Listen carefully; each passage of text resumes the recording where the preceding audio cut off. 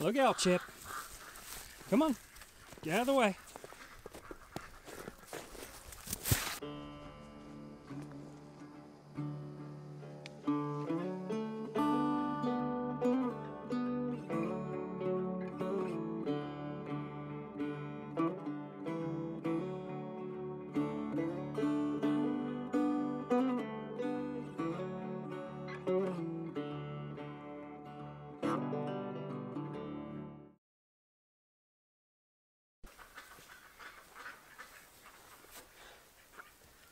Left the house this morning, it was about 18 degrees.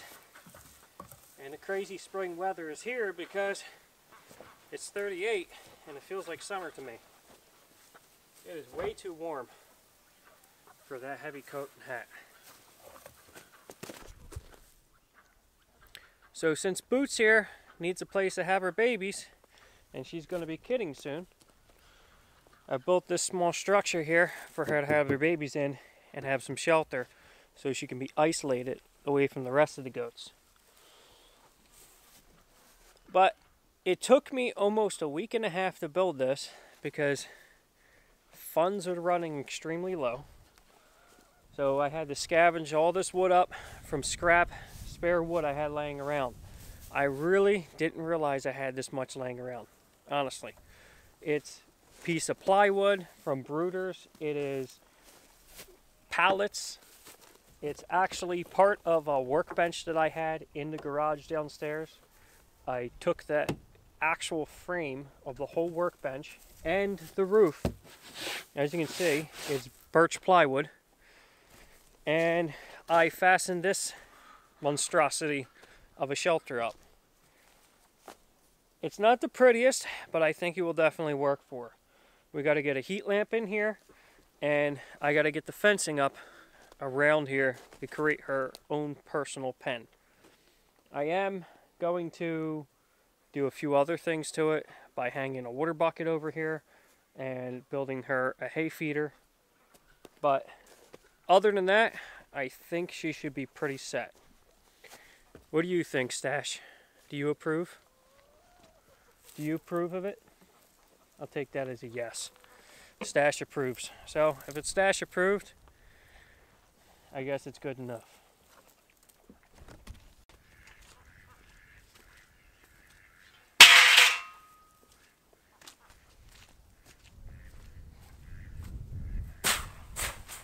So I ran down to the garage to get the tools I need.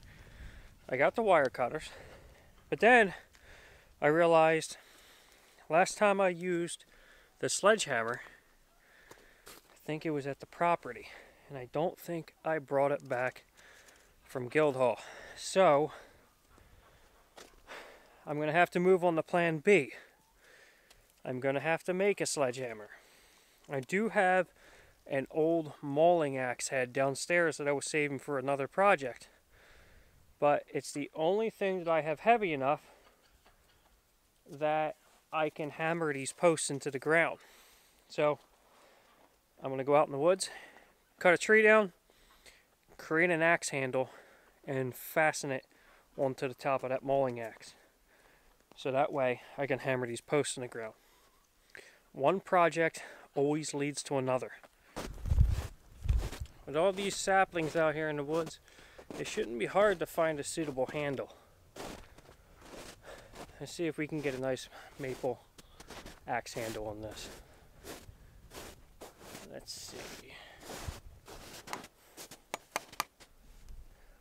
I think we have a winner. Or in this tree's case, a loser.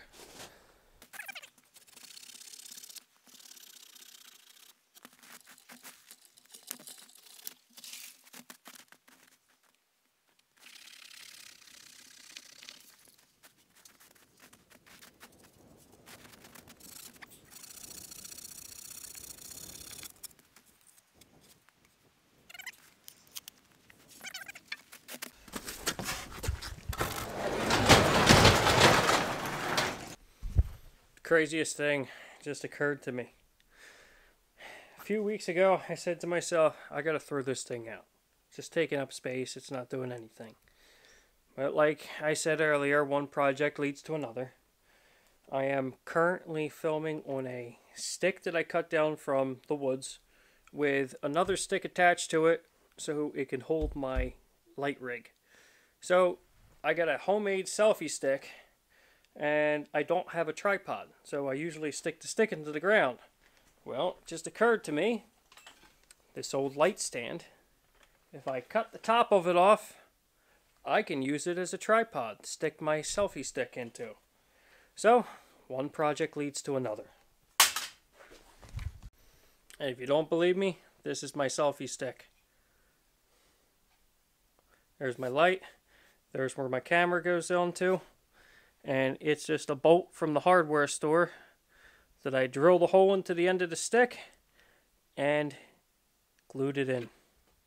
And the same goes for the light rig down here. And this is just held together with some screws. Okay, let's see if we can set this down so you can get a view of where am I going to sit this thing now. There's a bag. Hopefully it stays up in this work bag.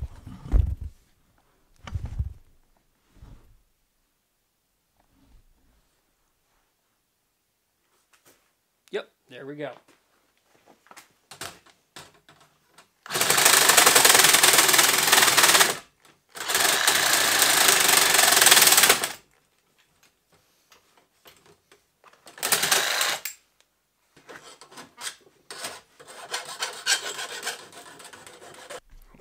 So now for the moment of truth.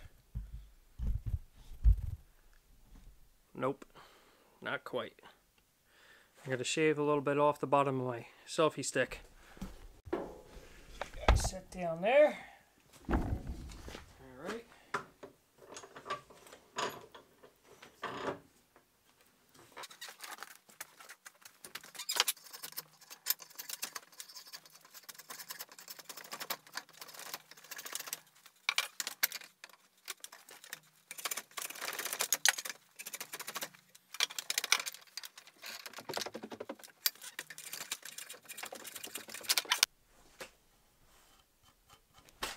Let's see if it works.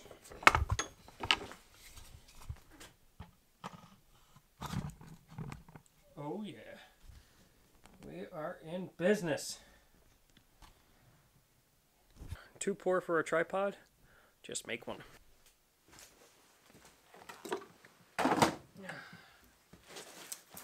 I really gotta clean this place up. It's a mess. A total mess. Alright then, let's figure this out. Set.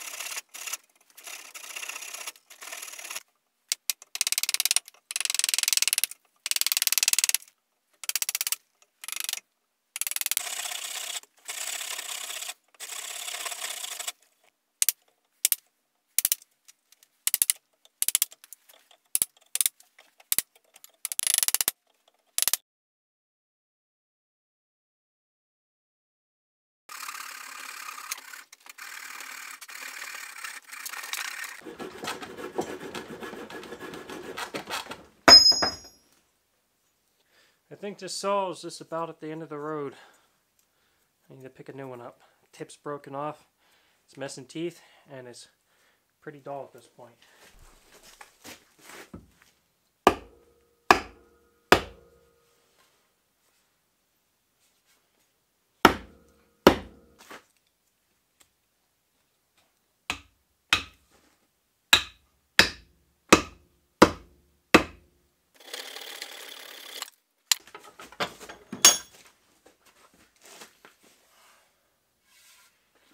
Have it.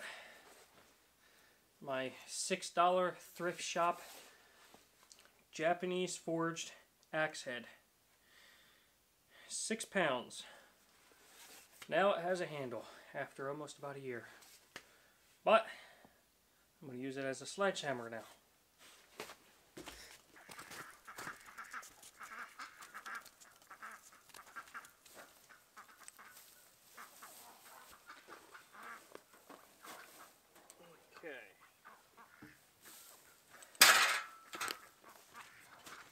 It seems as though these bolt cutters are absolute junk. They won't even cut welded wire fencing. Okay, let's try this again with some tin snips.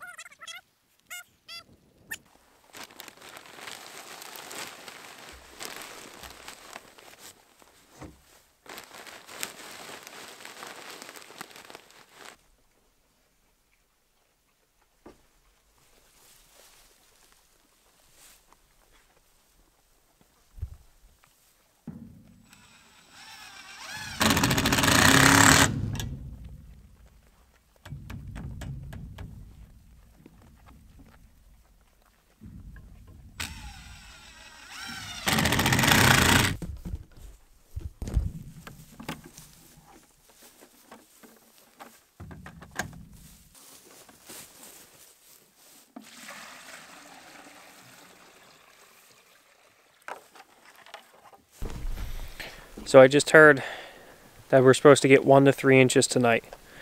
And uh, the crazy thing is it's supposed to be almost 60 degrees tomorrow. And we already have about a half an inch. Well, maybe that's about an inch here on the top of the hut. So we'll see how much more we get. We always get twice the amount they get at the bottom of the mountain. But if all goes well, the weather holds out, I should be able to make that into a gate tomorrow rather than just pushing a pallet and wedging up some boards up against it so she can't get out. So we'll see how this goes tonight. Until tomorrow.